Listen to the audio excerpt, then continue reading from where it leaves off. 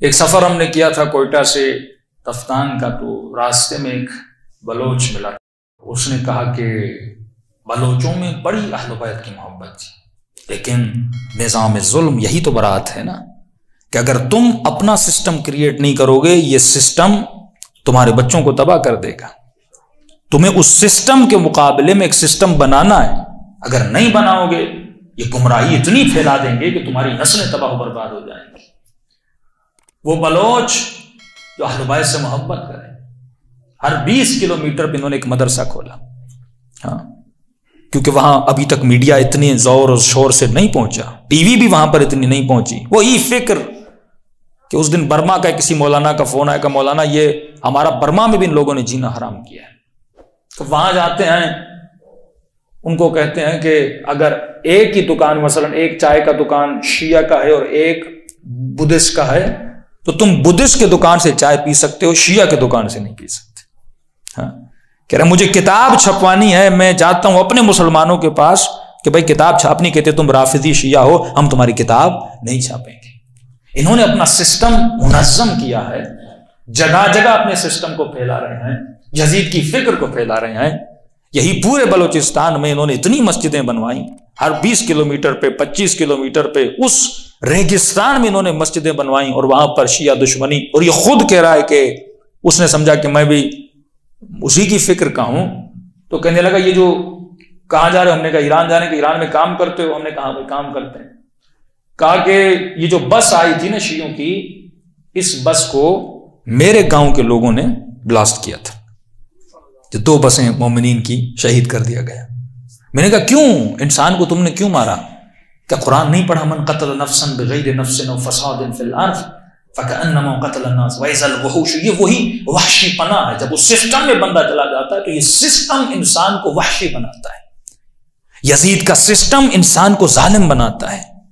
تبھی فرمایا، اگر دنیا علی کی محبت پہ جمع ہو جاتی، خدا کبھی جہنم نہ بناتا۔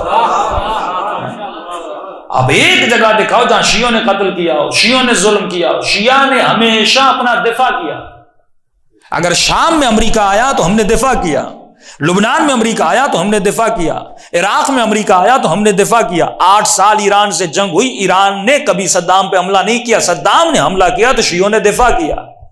یہی صورت حال یمن میں تھی۔ تم ایک بھی کنٹری نہیں دکھا سکتے جس پہ شیوں نے حملہ کیا۔ پر اسی طرح جب سسٹم حق میں رہتے ہو، تمہارا بس کام ہے حق میں رہنا۔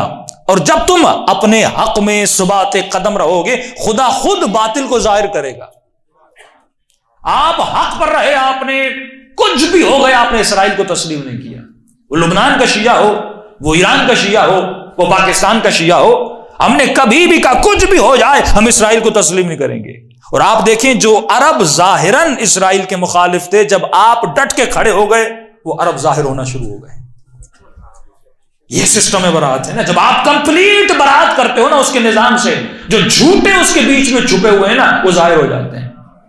عمان ظاہر ہو گیا، ابو ظبی ظاہر ہو گیا، سعودی عرب ظاہر ہو گیا۔ اب ان کے پاس کوئی لیڈر نہیں ہے۔ یہ ناز کریں تو کس پہ کریں؟ اب تو سعودی عرب بھی خراب ہو گیا، اب ترکی کے ترانے پڑے جا رہے ہیں۔ کیونکہ کوئی لیڈر ہے ہی نہیں نا، یہ کس کے پیچھے لگے؟ تو ابھی نیا سسٹم نئی حکومت، نیا لیڈر لایا جا رہا ہے اور تغل کے نام سے ہاں بھائی۔ ڈرامے دکھا دکھا کے لوگوں کے برین کو واش کیا جا رہا ہے۔ یہ ڈرامے کا مین مقصد کیا ہے؟ کہ آپ کے دل میں حکومت عثمانیہ کی محبت بڑھے۔ آپ کے دل میں نظام ترکی کی محبت بڑھے، آپ چاہو گے نہیں چاہو گے جب یہ ڈرامہ دیکھو گے آپ کے سب کانشیز میں عثمانیہ کی محبت چلی جائے گی۔ اور وہ عثمانیہ جس نے شیوں پر ظلم کیا، جس نے فاطمی حکومتوں کو گرایا، جس نے مصر میں فاطمی حکومت کو گرایا، جس نے سینکڑوں کی تعداد میں شیوں کے کتاب خانوں کو جلایا۔ اب آپ یہ ڈرامے دیکھیں گے، آپ کے دل میں کیا ہو جائے گا؟ آپ کے سب کانشیس محبت چلی جائے گی۔ کوئی فلم آپ دیکھتے اس کا سسٹم آپ کے ذہن میں چلا جاتا ہے، آپ تصور بھی نہیں کر سکتے یہ میرے وجود پہ کتنا امپیکٹ رکھتی ہے۔ بڑے سائیکلوجسٹ ڈرامے کو بنانے کے اوپر بیٹھتے ہیں اور نسلوں کو تباہ کر دیتے ہیں صرف ایک ڈرامے کے دیکھنے سے۔ یہ امت اور یہ مسلم اور یہ شیعہ اس نے کب جناب مختار کو پہچانا تھا؟ لیکن جب اس نے ڈرامہ دیکھا تو مختار کو پہچاننا شروع کیا نا۔ امام رضا کا فلم دیکھا ڈرامہ دیکھا، امام رضا کی معرفت آئی نا۔ تو یہ ڈرامہ آپ کے وجود میں کیا رکھتا ہے؟ اثر رکھتا ہے۔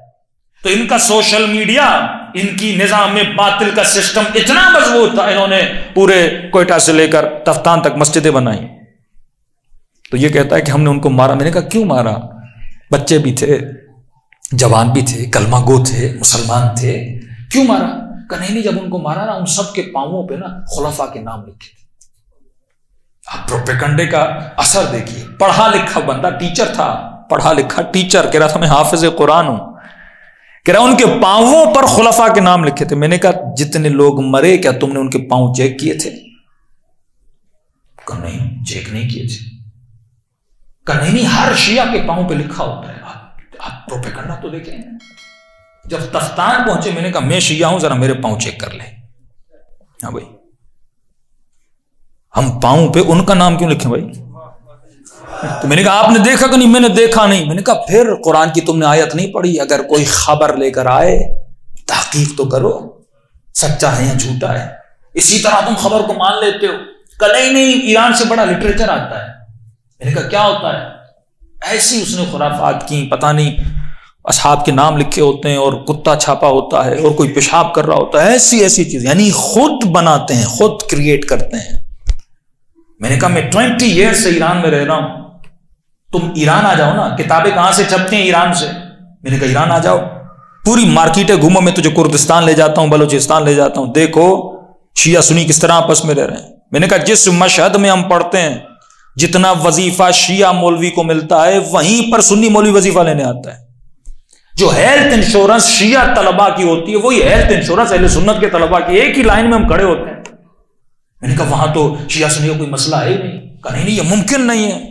شیوں کے چالیس جز ہیں۔ پھر ہم نے اس کو دعوت دی۔ میں نے کہا، ایران آ جاؤ۔ کہ اگر میرے گاؤں والوں کو پتا بھی چلا نا میں ایران گیا ہوں، مجھے ہی جلا دیں۔ اس قدر نفرت اس سسٹم میں ڈال۔